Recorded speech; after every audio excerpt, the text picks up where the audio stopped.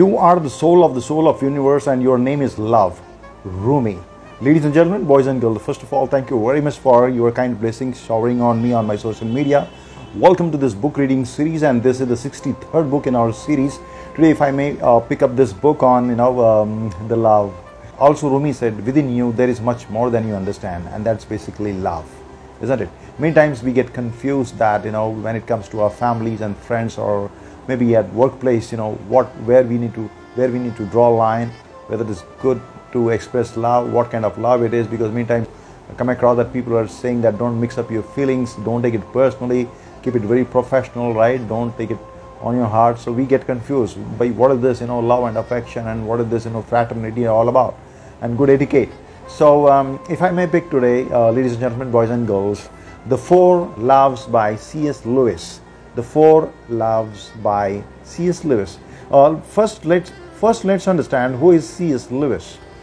C.S. Lewis, Clive Staples Lewis, 1898 to 1963, was one of the intellectual giants of the 20th century, ladies and gentlemen, and uh, the most influential writer of his day. He, he was a fellow and tutor in English literature at Oxford University until 1954, when he was unanimously elected the chair of medieval and Renaissance English at Cambridge University, a position he held until his retirement. Well, he wrote more than 30 books, ladies and gentlemen, and uh, some of his um, achievements I mean, his most distinguished and popular accomplishments include the Chronicles of Narnia, the Cosmic Trilogy, the Four Loves. Today we are going to talk about the Four Loves, the brief uh, summary rather, uh, the, the Screwtape's Letters and Mere Christianity. So ladies and gentlemen, um, these four loves uh, uh, Lewis has taken from the Greek literature, the Greek practices, the expressions of love. The first one, the first expression is storge, the storge, yeah the second one is philia, the third one is eros, and the fourth one is apage. Uh, we will go one by one. Now, what is storge? The storge, uh, this kind of love, this kind of uh, uh, this kind of this kind of love, this kind of expression, this kind of emotional response arises out of familiarity, uh, being familiar. For example, mother and child within family, right? So uh, this is the basic of all the loves. This is the basic of all the love. This is the foundation of all the loves um, through which we are born and brought up this kind of love. So um, you know this is good. So this is more of affection. This arises uh, out of the people, out of the not just people, but you know could be pets, could be animals, birds, and the environment we live in. Yeah. So uh, this more uh, uh it comes out of our affection towards them. Yeah, and the attachment and knowing each other very well. The kind of uh, the, the more we get familiar to each other, the more we spend time with each other, the more we stay in touch with each other, this kind of you know affection, it keeps on growing. So uh, this is good because since it is the foundation of all the loves, the so-called four loves over here. Yeah. So I have a habit of, of getting into a little bit of analysis so that you know uh, the modern man, the modern mind can easily understand the do's and don'ts and where to draw a line, what it is up to, what I should avoid, what I should adapt. Yeah. So to keep it very precise, to keep very very specific. Yeah. So what are the, um, the plus and the minus, yeah, the challenges of each love, the expression of love, if I may put this across is that when it comes to storge, the storge, the plus points definitely because it breeds all kinds of loves and affection and uh, you know it make it connects with the people and you get that kind of you know homely feeling you get that you know kind of affection but many times you have seen within a family, you know, there are certain conflicts. Why these conflicts are there? Because, you know, you, you take it as a right. Yeah, the children uh, may take it as a right that parents should continuously love them, or maybe the parents may have similar kind of expectation, irrespective of the changes happening socially, technology, yeah, uh, psychologically, isn't it? Yeah, neurologically, and um, we tend to generalize. So many times leads to, unfortunately, hatred also, and certain severe and certain severe fights yeah so we need to draw a line because many times it's like me me me uh, more possessive yeah so we define an area that this is me this is my wife this is my son my parents this is my territory this is my office this is my people my organization my country it's more of me me me me right so it may bloat the ego and it may then um, alienate you from the rest of the beings and uh, that can give rise to animosity that can give to uh, rise to uh, violences and all these things, isn't it? This is what it is. So uh, after uh, storge, you know, if we get into the second expression of love from this book, uh, the four loves of Lewis, is basically the philia. Philia, uh, when it comes to the Greek uh, mythology or the Greek practices and the Greek uh, beliefs, they give a lot of importance to philia. Philia is about friendship. Now, how the friendship happens? Because we need to have certain common interest, common areas, certain common denominators. So there is a lot of you know exchange of ideas, thoughts, expressions, you know, learning and uh, mutual benefits. What's in it for me? Eh, you know, it leads to a lot of collaborations.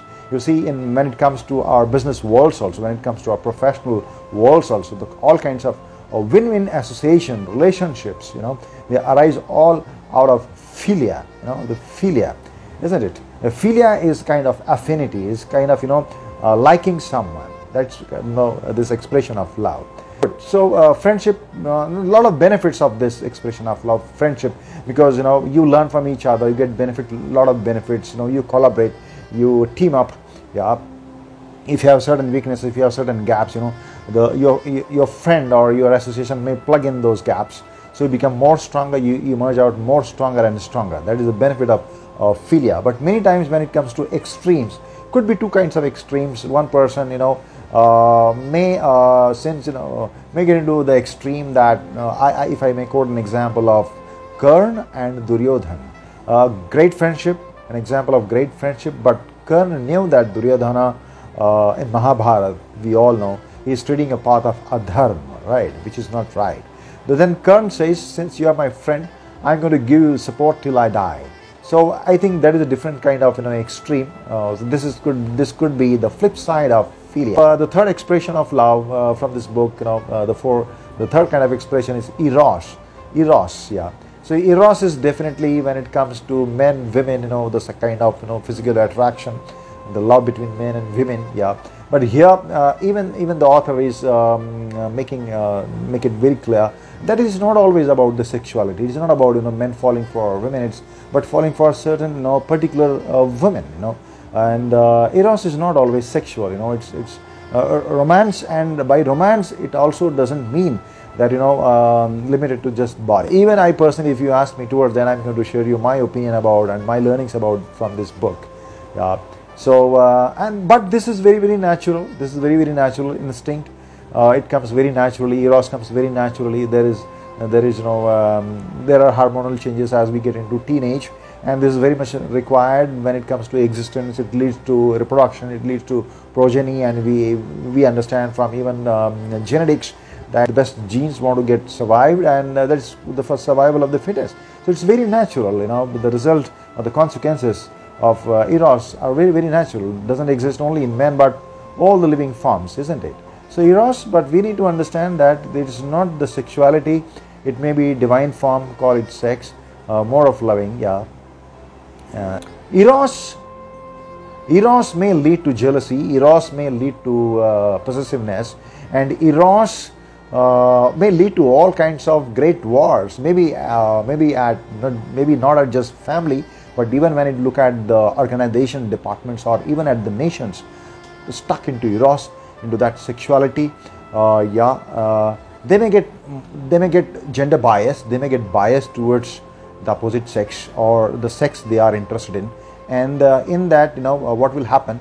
The competent people the competent people uh, whom you don't like may suffer because since you are biased towards those genders out of eros you may promote them you may uh, give a lot of things which they don't deserve and it may create create chaos and conflicts among the organization the departments even the nations and uh, the fourth one is apage. The fourth one is apage. Now, apage literally means uh, charity. Charity. So, charity begins at home, and charity uh, is good because then, then you are. Uh, then you are actually breaking all the walls which began with your storge, me, my family, my my uh, society, my community, and going towards you know philia um, that you know you are getting into certain collaborations, maybe beyond borders. It's kind of a compassion. Yeah. So what are the plus points of uh, charity?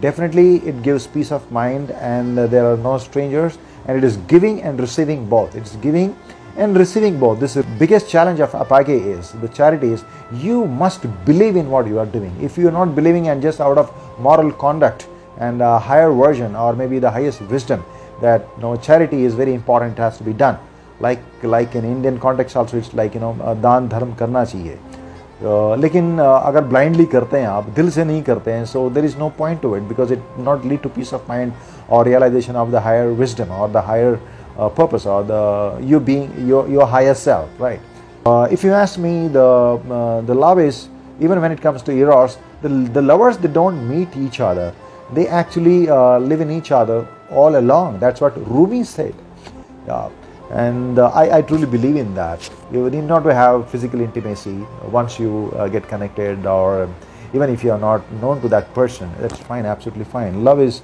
not confined to the bodies. Love is very different. Yeah.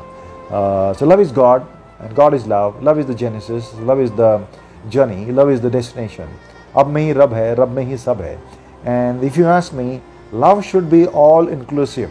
Love should go beyond all kinds of borders and genders. If you ask me, the wonder of my relationship with every gender is मुझे genders नज़र नहीं आते हैं I become so comfortable with everyone because I don't look at that. You know, I I am a living being, other person is a living being, irrespective of the genders, irrespective of the species, yeah. And there is this common denominator, you know, feeling good with each other, respecting each other, loving each other, caring for each other. Because it's rightly said, people don't care how much you know unless they know how much you care for them. So love should be all inclusive. Love should be caring. Love should be respect.